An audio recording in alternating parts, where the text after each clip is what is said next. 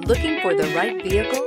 Check out the 2018 Compass. The Jeep Compass has a solid, sophisticated 16-valve engine. It features electronic variable valve timing that continually changes the torque curve, bringing more versatility to the 165 peak pound-feet of torque and more capability to the 172 peak horsepower. This vehicle has less than 30,000 miles. Here are some of this vehicle's great options.